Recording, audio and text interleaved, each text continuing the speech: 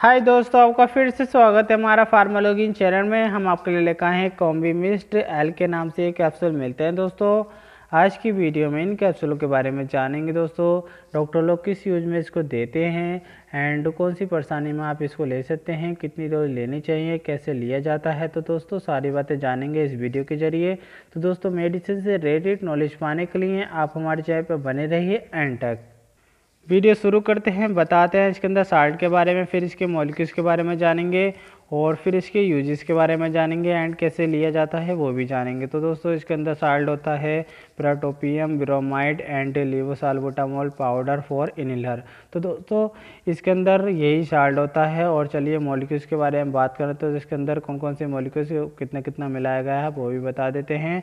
जैसे कि दोस्तों प्राटोपिनियम ब्रोमाइड मिलाया गया है इसके अंदर फोर्टी एम में।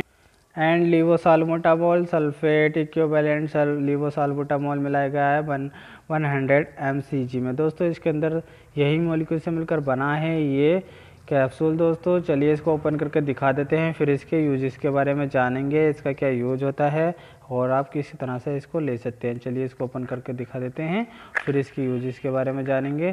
तो दोस्तों, इसके अंदर ये इस कंटेनर में कैप्सूल आते हैं, आपको थर्टी कैप्सूल मिलेंगे, आपको कैप्सूल भी दिखा देते हैं।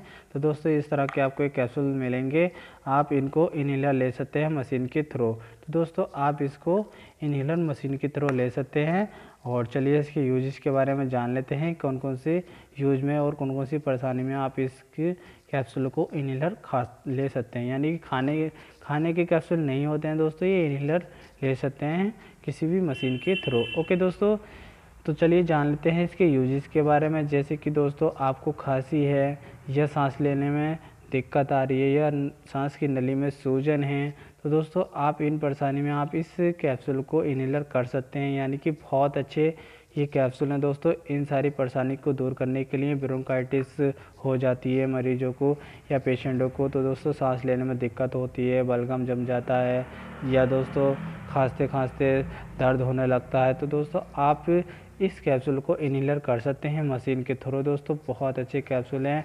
एंड जब भी लें दोस्तों, अपने डॉक्टर या फार्मासिस्ट की सलाह से लें दोस्तों, अपनी मर्ज़ी से इन कैप्सूल का यूज़ ना करें। और आप जब भी लें, इसको मशीन के थ्रू लें।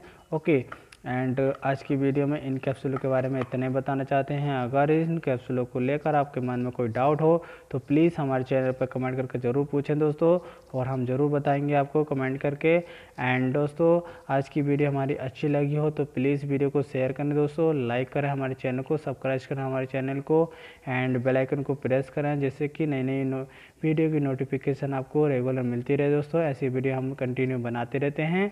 एंड हमारे साथ बने रहने का आपका बहुत बहुत धन्यवाद दोस्तों। Thank you for watching video